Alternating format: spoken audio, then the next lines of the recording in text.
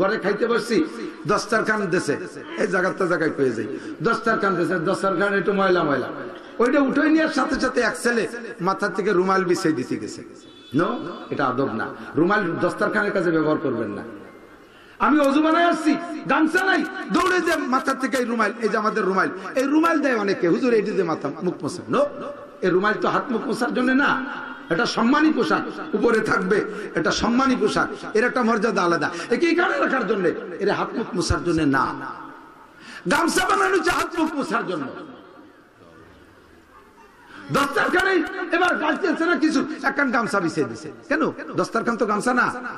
বানানো হচ্ছে অন্য জন্য, এটা আর গামছা, দস্তারখান কি জন্য? নিচে কোনো খাবার পড়ে যাবে, আর তাই তুলে খাওয়ার জন্য এলো দস্তার দস্তারখান।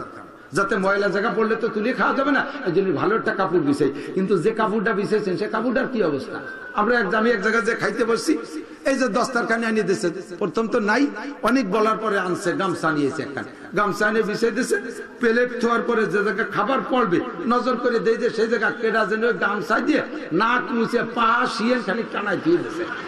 তাই আমার কোলের দ্বারা ওর মধ্যে ভাত পড়লে খাওয়া যাবে? তাহলে এটা বিয়াদবি হয়েছে গামছারেও নাক জন্য বানাইছে ওরে দিস এটা বিয়াদবি। আদব। যা যেখানে রাখার দরকার তা সেখানে রাখার নাম আদব। এটা আমার নবীর আদর্শ ভাই। এগুলো আলোচনা হয় না মাহবিলের ভিতরে। এ কথাগুলি ইম্পর্টেন্ট জরুরি। আমরা যখন আসি, রাস্তা দিয়ে গাড়ি চালাই, এই রাস্তা দিয়ে গাড়ি যাই।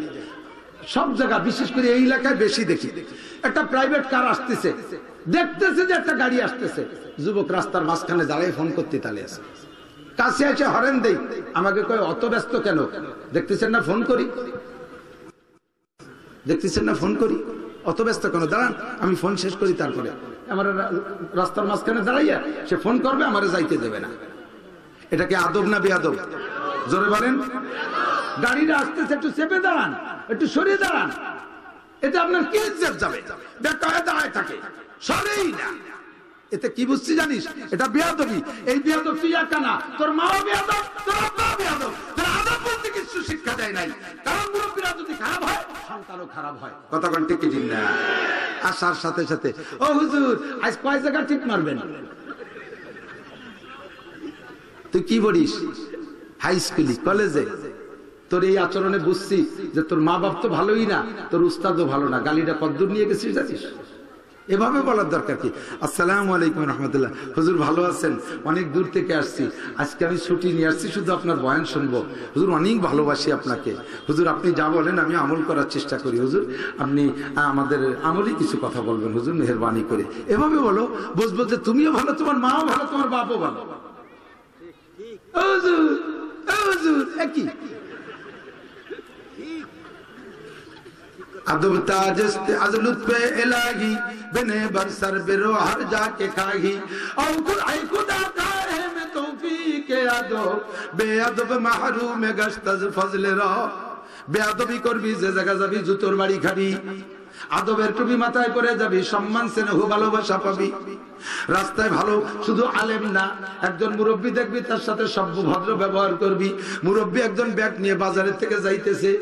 বুড়ো মানুষ লাঠিতে বর দিয়ে দিয়ে ব্যাগ টেনে নিতে পারতেছে না। তুমি যুবক দেখে চপল বাধা দা আমি কি আপনার ব্যাগটা একটু বাড়ি আগায় দিতে পারি? দেখবা, বুড়ো অত্যন্ত খুশি হয়ে বলবে, ভাই, দাও দাও দাও দাও। ব্যাগটা হাতে নিয়ে বাড়ি আগায় দিছো। এবার তোমারে জিজ্ঞেস করবে, তোমার নাম কি? নাম বলছো চেনে না। তোমার আব্বার নাম কি? বলছো চেনে না। এরপরে কয় দাদার নাম কি? দাদার নাম বলার পরে এইবার বুড়ো সুজা হয়ে দাঁড়িয়েছে ও, এই তো তোর দাদার আমি একসাথে পড়তাম। তোর দাদা সেই স্কুলের থেকেই ভদ্র। নিশ্চয়ই সেই সেই দাদার পুতা। তানালি এত ভদ্র তুই কেন হবি? এই দিনের কথাটা বলছে, তোমার জন্য এক বস্তা দোয়া দিয়ে দিয়েছে। যে জায়গা যাবা, সে জায়গা ভালোবাসা পাবা। যে জায়গা যাবা, সেখানে সম্মান পাবা, যে জায়গা যাবা, সেই জায়গা সফল হতে পারবা। আর ব্যাগ নিয়ে যাইতেছে বুড়ো। তুমি মোটর সাইকেল চালাই যাচ্ছ। বুড়োর দ্বারা যে এমন ভাবে পিক আপ মারছো, রাস্তার মাঠে ধুলো উড়িয়ে বুড়ো চোখ মুখ গুলাই বুলাইয়ে বুড়ো ব্যাগ হাতে ছুটে যে গড়িতে গড়িতে খালের মধ্যে চলে গেছে, লুঙ্গি বাঁধিয়ে রয়েছে আশাইল বাগানে। বুড়ো ওই খালের মধ্যে কানতে যে আল্লাহ, আমার কি মরার ডেট ফেল হয়ে গেছে? কারণ কি? ভালো রাস্তায় কি তুমি আমার নেও, আমি আরও দুনিয়ায় থাকতে চাই। আল্লাহ না, তুমি মরো না। তোমাকে মসজিদে কোনো মুয়াজ্জান তৈরি হয়নি। তুমি আজান দাও। আরও দশ বছর ভিতরে তোমাদের এলাকায় মুয়াজ্জান হবে না। আমি খাতা দেখতেছি। কাজেই দশ বছর আজান দিতি। তোমার তুমি বুড়োরে লাগবে। তুমি থাকবা। ওই পাং পুরে ফেলাই দিচ্ছি। ওটা টেকবে না। ওটা না উঠে যা, লুঙ্গিটা একটু রাস্তা যাইতে যা। বুড়ো লুঙ্গি গেছে, যায় দেখে যে রাস্তার মোড়ের উপরে লোকজন জড়ো সড়ো। কি ব্যাপার জায়গায় এত মানুষ? কয় যে এই মাত্র একটা পিছনে একটা পাওয়ার ব্যাংক বসানো যুবতী মাই একটা হলো পাওয়ার ওটা পিছনে পাওয়ার দেয় ভালো। এই এসে এই জায়গার ট্রাকের সাথে বাড়ি খাইয়ে সে পাওয়ার ব্যাংক খালের মধ্যে পড়িয়ে গেছে। আর এই ছেলেটার ইয়ে মাথা ওই পাশে চলে গেছে ট্রাকের আর এই বডিটা রাস্তায় পড়া মোটর সাইকেল খান চাকার সাথে ফেলাই, পেঁচাই গেছে। বুড়ো এসে দেখে দিয়ে একটু ফেলাই দিয়ে আসলো। কই আল্লাহ, তুমি দোয়া এত তাড়াতাড়ি কবুল করে ফেলাইছো। হাইসে উড়াই দিচ্ছে কপাল পড়বে কিন্তু। ভর রাস্তায় ঘুরি, পঁচিশ বছর ময়দানে। রাস্তায় মতো যুবক আমি ফেলানো দেখলাম। এই সমস্ত পাঙ্কু যুবকরা, যারা আমাদেরকে মূল্যায়ন করে না, ভ্যালু দেয় না। মোটর সাইকেলে বাড়িতে আমাদের প্রাইভেট কার সিট করে ফেলাই দিতে চায়। প্রথম চল্লিশটা পড়ে যাবি বেশি দিন টিকতে পারবি না। মস্তানি করিস না, পাগলামি করিস না, এটা বেয়াদবি। বেয়াদবরে আল্লাহ তালা সহ্য করে না। আবু জাহাল বেয়াদব, আল্লাহ সয় নাই। ফিরাউন বেয়াদব, আল্লাহ সয় নাই। বেয়াদবি করেছে, ইব্রাহিম আলাইহিস সাথে। আল্লাহ সহ্য করতে পারে নাই। কারণ হারাম সাদ্দাত বেয়াদবি করেছে। আল্লাহ তাদেরকে শেষ করে দিয়েছে। তুই বেয়াদবি করবি, বেশিক্ষণ টিকতে পারবি না। সভ্য হও, ভদ্র হও, নম্র হও, শালীন হও, তুমি সব শিষ্টাচার হও, তাহলে দেখবা মানুষে তোমার দোয়া করবে। ভদ্র ছেলে অমায়িক, কলেজে পড়ি, তার চাল চলন সেরকম না। এদিকে আমি যেন মাদ্রাসায় পড়ে। তুমি এরকম হও, তুমি এরকম হও, তাহলে সবাই তোমার প্রশংসা করবে। হুজুর বলেন, আল্লাহ পাক বলেন, লাকাদ লাকুম ফি রাসূলিল্লাহি উসওয়াতুন হাসানা। হে আমার পর্দার আড়ালের মা ও বোনেরা, তোমাদেরও পারিবারিক আদব আছে, তোমাদেরও পারিবারিক আদব আছে। শ্বশুরের সাথে সদ্ব্যবহার করবা, শ্বশুরকে আব্বা ডাকবা আম্মা ডাকবা, তাদের সাথে মিষ্টি ভাষায় ব্যবহার করবা, তুমি স্বামীর সাথে সদ্ব্যবহার করবা, স্বামীর সাথে তুমি ব্যবহার, তুমি শব্দটা বাংলাদেশে উচ্চারণ হয়, ব্যবহার হয়। স্বামী স্ত্রী, তুমি তুমি বলা বলি চলে। তবে আমার মনে হয় যে স্বামীকে তুমি বলা ভালো না। স্বামীকে আপনি বলাই উচিত। স্বামীর ছোট ভাই, যে ওই মহিলার দেবর হয় কয়, ভাই কয় আপনা, আপনি তার সাথে আলাপ করে। স্বামীর সাথে তুমি তুমি করে। আরে তুমি হারাম না হারাম না। তুমি থেকে বাংলাদেশে যেহেতু তিনটে শব্দ, এক নম্বরে আপনি সেকেন্ড তুমি লাস্টে একেবারে নিচু ভাষা তুই। ছোটদের জন্য তুই সমসাথীদের জন্য তুমি, বড়দের জন্য আপনা আপনি। যেহেতু বাংলায় তিনটে শব্দ পার্থক্য আছে, তিনটে শব্দের তিন রকম মর্যাদা, তাহলে আমার এই সর্বশ্রেষ্ঠ সম্মানী শব্দটা কে পাবে? যে আমার কাছে সবচাইতে বেশি সম্মান পাবে। হাদিসে আসছে আল্লাহ নবী বলেন, লাউ কুনতু আমিরান লি আহাদিন লি আমারতুন নিসা আইয়াসজুদনা লি আজওয়াজিহিন্না। যদি দুনিয়ার মানুষকে মানুষের জন্য সিজদা করা জায়েজ রাখতাম, যে মানুষে মানুষকে সিজদা করতে পারবে, মানুষে মানুষের পায়ে সিজদা করতে পারবে এইটা যদি বৈধ হতো, তাহলে সমস্ত নারীদেরকে বলতাম, তোমরা আব্বারে সিদ্ধা করবা না, পীররে সিদ্ধা করবা না, উস্তাদরে সিদ্ধা করবা না শ্বশুর শাশুড়িরে সিদ্ধা করবা না। একমাত্র স্বামীর পায়ে সিজদা দিবা। স্বামী তোমার কাছে সিজদা পাওয়ার মতো সম্মানী, স্বামী এত বড় সম্মানী, সেই স্বামী, স্বামীর সাথে সর্বোচ্চ সম্মানী শব্দটা ব্যবহার করাই, এটাই নিয়মে চায়। কাজেই স্বামীর সাথে আপনা আপনি ব্যবহার করেন। আর যদি তুমিতে আলোচনা করেন, তাহলে তুমি থেকে রাগারাগি বাজে গেলে নামতে মাত্র এক ক্লাস। গ্যাঞ্জাম বাজিয়ে গেলি, তুমি তুমি চলতেছিল এরপরে যদি চিনি তোরে। যদি স্বামী চিনি তোরে তাহলে আয় তোরে চিনেই ছেড়ে দেই। কিন্তু আপনি থেকে তুইতে আসতে দুটো ক্লাস পার হওয়া লাগবে। আপনি থেকে তুমি, তারপরে তুই, এত দূর আসে না। এত দূর আসে না। আর আপনি থেকে তুমিতে আসলে অতটা রিয়েকশন হয় না। আদব শেখো, কথা বলা শেখো, ভদ্রতা শেখো, সবার সাথে সেভাবে করো। আত্মীয় স্বজন একটু না বলে পারি না, এদিকে আসেন। বুন্ডা বিয়ের পরে চলে গেলে বাপের বাড়ির থেকে যদি সম্পদ তারা হারাহারি মতে নিয়ে যায়, তাহলে ভাইরা যে কষ্ট পায়, তার সাথে ভাই বউরা কষ্ট পায় বেশি। হয়ে দেয় যাই সে দেয় ইসকে নিয়ে। তোর বংশ যেন আসে, জন্মের খান খাওয়াত বাড়ি যা ভাবি নিয়ে গেলি সুরিয়ে মুজিয়ে। কুড়োই কাছাইয়া। এরকম কয় না? কেন? তা বলবেন কেন? ওদের হক কোরআন এসে আপনি রাগ করবেন কেন? তাদের পাওনা আপনি রেখে খাবেন কেন? এটা আপনার জন্য সুয়ারের গোস্ত খাওয়ার মতো আরাম হবে বন্ধুরা কৌশল করে ফিকা বকু দিয়ে মারিয়ে খাবেন। এটা সুয়ারের গোস্ত খাওয়ার চাইতে হারাম। পরের হক খাইছেন। শুয়ারের গোস্ত খাইলে আপনি তওবা করলে মা পাবে কিন্তু বুনের হক মারিয়ে খাইছেন, এটা তওবায় মা পাবে না। কোটি বার রাস্তা ফিরুল্লাহ পড়লে হবে না। পঞ্চাশ বার উমরা করলেও কাম হবে না। ওটা তারে কেয়ামতের ময়দানে যে দেয়াই লাগবে। আর সে তার হকটা নিয়ে গেছে এই জন্য তার আত্মীয়তা দিয়ে দিলেন কেন? আর সে নেবেই বা না কেন? তার বিয়ের পরে তার ছেলে মেয়েগুলো আসে, আপনার বউ তাকে পাতে বাদ দেয় না।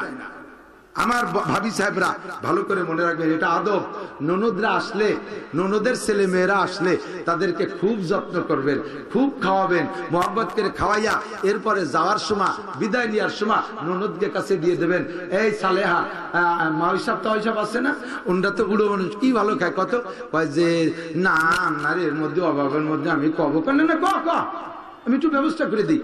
যা পারো, দুইখান শীতেই ভিটে, দুইখান রুটি, একটু পেয়ালায় একটু শাক রান্না, একটু গোশের ঝোল, একটু চিংড়ি মাছ, এই একটু টুপলা করে দিবা।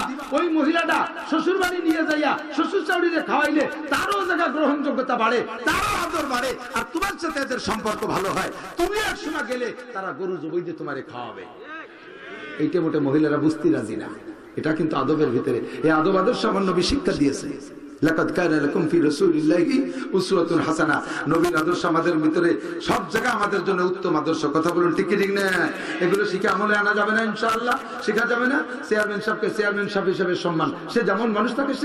করতে হবে।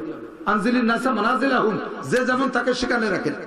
যে যেখানে যার যোগ্য, তারে সেখানে রাখেন, তারা সেভাবে সম্মান করেন। আড়ালে সমালোচনা করে কি হবে? হ্যাঁ চেয়ারম্যান কি ইস্যু বোঝে না। তুমি জন্মের বোঝা বোঝে তো তোর তো যেটা ভোট দেয় না। চেয়ারম্যান হ্যাঁ করে ও করে, তা করে, তাহলে পরবার তিনবার হয় কে যেবার হয়েছে এবারও কি ভোট পাতি কম পাওয়া লাগছে নাকি? খালি খালি ফালতু সমালোচনা বাদ দিয়ে নিজেই সামনের দিকে বড় হওয়ার চেষ্টা করো। সমালোচনায় যখন বসে, তখন কেউ রে ছাড়ে না। হজরত মালা লুকমান হাকিম সাহেব, বুজুর্গ মানুষ এর সরল মানুষ। আমাদের এই পাশের ওলামাই কিরামদের ভিতরে দুইটি আলেম খুব, খুবই নম্র, ভদ্র এবং কি বলা হয়, খুব সুফি বুজুর্গ মানুষ। তার ভিতরে হুজুর একজন আর একজন কালীগঞ্জের মৌলানা ভুলে গেছি। কাশির হুজুরির খলিফা। একেবারে মাটির মানুষ। দুনিয়া বোঝেই না। এই সকল মানুষের সমালোচনা করে। সমালোচনা করলে গিবত, আর গিবত করলে জেনার চাইতে বড় অপরাধ। আমরা এর থেকে বেঁচে চলবো, পারব না ইনশাআল্লাহ? আমাদের আদব আর আদর্শের জন্য সামনে রাখব কোরআন। আল্লাহ পাক আল্লাহ নবী বলেন, মান জালাল কোরআন আমামাহু কাদাহু যে ব্যক্তি কোরআনকে সামনে নিয়ে চলে, কোরআনে তারে কিয়ামতের ময়দানে পথ দেখায় জান্নাতে পৌঁছায় দেবে। কোন সুবহানাল্লাহ। ওমান জালাল কোরআন কালফা যে পিছে দুনিয়ার শিক্ষা দিয়ে সামনে চলতে চায়, তাহলে কোরআনকে পিছে রাখার কারণে কিয়ামতের ময়দানে কোরআনকে আল্লাহ তাআলা ওর পিছে লাগাই দেবে। বিশাল লম্বা আগুনের লাঠি হাতে দিয়া বলবে, ও কোরআন, তোরে যারা দুনিয়ায় পড়ে নাই, তোরে যারা দুনিয়ায় মানে নাই, তোরে যারা দুনিয়া আমলে আনে নাই, তাদের পিছে যা, যাইয়া পিটাই পিটাই ওয়াসিক আল্লাযিনা কাফারু ইলা জাহান্নামা জুমারা।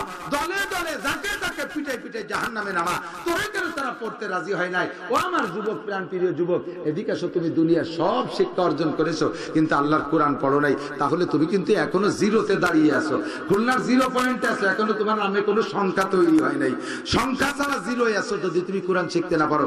আল্লাহ নবী বলেন, ইন্নাল্লাযী লাইসা জাওফি মিনাল কাল যার সিনার মধ্যে আল্লাহর নাই, ওর সিনাটা কি বলে ঘরের মতো, পরিত্যক্ত ঘরের মতো। দামি একটা ঘর বানাইয়া ফেলাই দিয়ে দশ বছর রয়েছেন ঢাকা। এসে দেখবেন যে ওই ঘরের ভিতরে আড্ডা হয়ে গেছে, ইন্দুর আড্ডা হয়ে গেছে। ওর ভিতরে বিভিন্ন প্রকার নোংরা প্রাণী বসবাস করে। সেম আপনার সিনের ভিতরে আইএ আছে, বিএ আছে এম এ আছে, ডাক্তারি আছে, ইঞ্জিনিয়ার আছে, বিজ্ঞানী আছে। কোরআন নাই। আপনার সিনের ভিতরে শয়তান, বিভিন্ন শয়তান ঢুকে আপনাকে কুমন্ত্রণা দিয়ে মানবতার থেকে নামাই ফেলবে প্রচুর প্রচুর চাইতে আপনাকে নিচু করে ফেলবে। এই জন্য আপনার ভিতরে থাকা দরকার কোরআন। আল্লাহর কোরআন যার মধ্যে নাই, ওই লোকটা একেবারে একেবারে ফকির। ওর চাইতে বলো মিসকিন নাই। আমি আপনাদের কাছে বলতে চাই দিক থাকেন যে সমালোচনাগুলো যুবকদের সম্পর্কে করলাম, ওই সমালোচনাগুলো ইনশাআল্লাহ আমি মাদ্রাসার ছেলেদের করার সুযোগ রাখি না। মাদ্রাসার ছেলেদের সুযোগ রাখি না।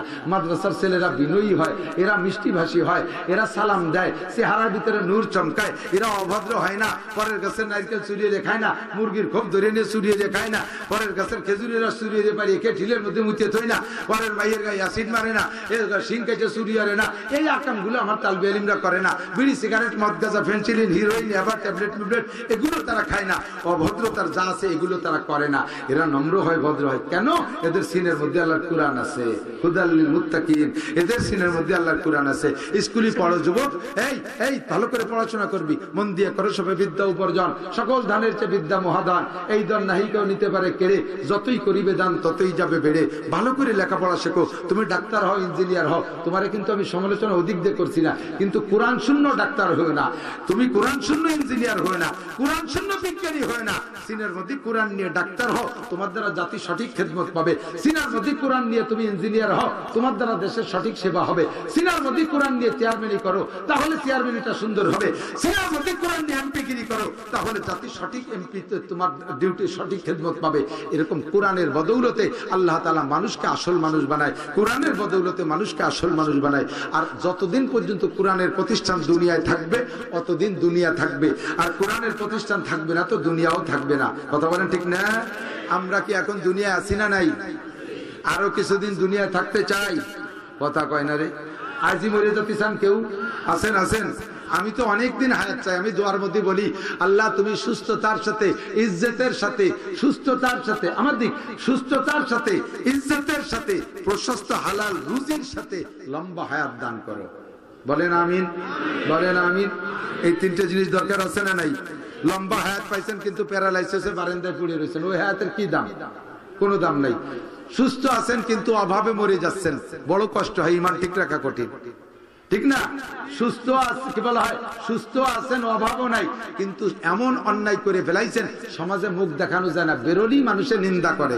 তাহলে এর নাম হলো অপমানই জিন্দগি। এটারও দাম নাই এটারও দাম নাই। এজন্য তিনটে দোয়া করবেন, সুস্থতার সাথে, ইজ্জতের সাথে, প্রশস্ত হালাল রিজিকের সাথে আল্লাহ আমাদের সবাইকে লম্বা হায়াত দান করো। একটু সবাই বলি আমিন। তাহলে বেঁচে থাকতে হলে সুস্থতার সাথে জমিনটা থাকতে হবে পায়ের নিচে। জমিন যদি না থাকে, বেঁচে থাকবেন কোন জায়গায়? আর এই জমিন থাকবে যতদিন দুনিয়ায় এই এলমে দিন থাকবে, কোরআনের এলেম থাকবে, অতদিন জমিনের জমিন থাকবে। নইলে জমিনটা ইসরাবিল আসলামে ফুতে উড়িয়ে চলে যাবে। আর এই জমিনটা থাকবে অতদিন যতদিন দিনই এলেম থাকবে। দিনই এলেম থাকবে অতদিন যতদিন মাদ্রাসার শিক্ষা থাকবে। কাজে আমরা জান দিয়ে, মাল দিয়ে সর্বকিছু দিয়ে আমরা মাদ্রাসার পক্ষে থাকতে রাজি আছি না ইনশাআল্লাহ। রাজি আছেন না ইনশাআল্লাহ? এবছর হজ প্যাকেজ শুনলাম পনে সাত লাখ টাকা। পনে সাত লাখ টাকা হজ করতে লাগবে বলে। ছয় লক্ষ, পনে সাতেরও বেশি, ছয় লক্ষ ছিয়াশি হাজার টাকা ধরছে।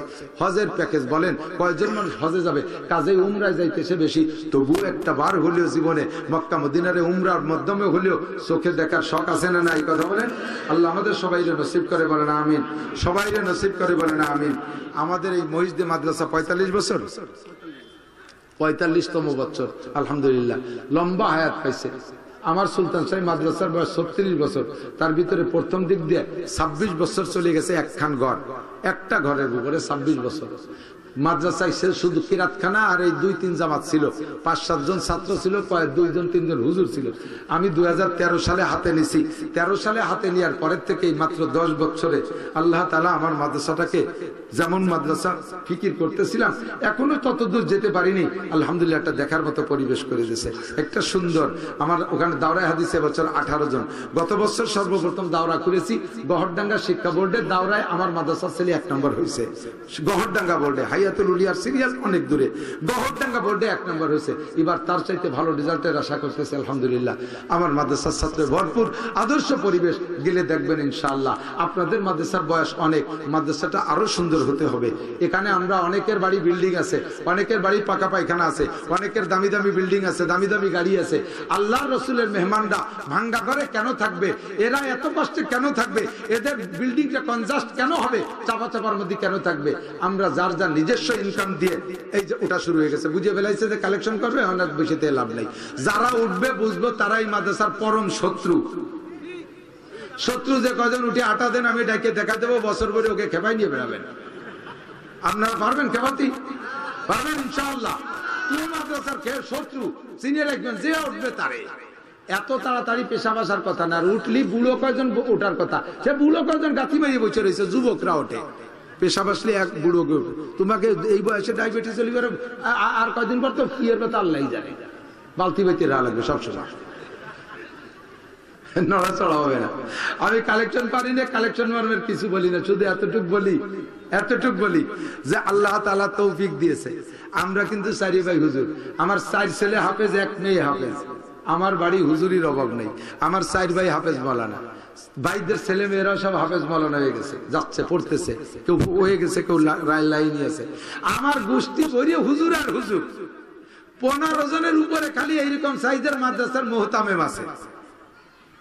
সাইকুরাদিস আছে কয়েকজন আছে কয়েকজন। আমার গোষ্ঠীতে হুজুরির গোষ্ঠী। ডাক্তার ইঞ্জিনিয়ার আছে, চেয়ারম্যানও আছে, সবই আছে। তো এর ভিতর দিয়ে আমার মা বাপের মারা যাওয়ার পরে মিলাদ দিতে কোনো হুজুর ডাকা লাগে না। এর জন্য কোনো দিন ক্ষণ লাগে না। রাত্রে শুইও মিলাদ একটা ভরিবেলা দিতে পারি যে যেখানে আছিস মিলাদ পর সকালবেলা জিলাপি কিনে খাব। এ আমাকে করা লাগে না। বাপ মারা গেছে সাত সালে, মিলাদ আইজও দেইনি, কোনোদিন দেইনি। আর দেবো না নিয়ে করছি। এই বছর দু হাজার বাইশ সালের ডিসেম্বরের দুই, তিন তারিখ আমার মাহফিল গেছে। এটা জাস্ট আল্লাহ তুমি সাক্ষী। কি জন্য বলতেছে তুমি মনের খবর জানো। আপনাদের একটা বুঝ তৈরি করার জন্য। অনেকে বলে যে হুজুরে এত টাকা নিয়ে কি করে? একটু যাইয়ে দেখে আসেন কি করে? আমি এখান থাকলাম, খাতাটা দেখে আসেন। আমি জানি না, আমি শুধু দিতে আসি তো আসি হিসাব দিল কেশিয়ার সাহেব, এই বছর দুই হাজার বাইশ সালে পঁয়ত্রিশ লাখ টাকা আমার দেওয়া মাদ্রাসায়। আমি এক টাকা বেতন নেই না, মাদ্রাসার এক মুঠ খাইও না। আমার টাকার কিনা চাউলগুলা ভরা রয়েছে। আমি এক লোকমা ভাতও খাই না মাদ্রাসার। পঁয়ত্রিশ লাখ টাকা দেওয়া। ডিসেম্বরের পরে আরও প্রায় দেড় লক্ষ টাকা দেওয়া হয়ে গেছে। ছুটির সময় সবে বরাতে উস্তাদদের বেতন দিয়ে বাড়ি পাঠাই দেবো ইনশাআল্লাহ। আমার ইনকামের টাকা ওখানে চলে যায়। বাপের নামে মিলাদ দিয়ে কি করব? সারা মাদ্রাসায় যা পড়াপড়ি হচ্ছে, ওইটা আমার আব্বা মা পাইতে তালে আছে। হাদিস, কোরআন তিলাওয়াত আমার আব্বা মা পাইতে আছে। আমার মিলাদের দরকার কি? মিলাদ দেয় কি হবে? মিলাদ তো কলা গাছ এক কাটি ঘর করে আর কলা হয় না। আর আমি লাগাইছি আম গাছ, আমি লাগাইছি বাপের জন্য কাঁঠাল গাছ। যদি আব্বা আমার নেক সন্তান হয়ে থাকেন, আব্বা আমার সুসন্তান হয়ে থাকেন, তাদের ভিটায় বসবাস করেন, তাদের রেখে যাওয়া গাছপালার ফল, ফ্রুট খাচ্ছেন, তাদের রেখে যাওয়া জমির ফসল খাচ্ছেন, তাহলে নেক সন্তান যারা আছেন, আব্বা আমার রুহের মাঠ ফেরাতের জন্য একটু স্থায়ী একটা আম গাছ, একটা কাঁঠাল গাছ লাগান, একটা নারকেল গাছ লাগান। মাদ্রাসার প্রয়োজন কোথায়? সে জায়গা দেখে দেখে কিছু কিছু দান করেন। হুজুর হয়তো বিল্ডিং করবে, এক হাজার, দু হাজার ইট লাগবে পাঁচ পাঁচ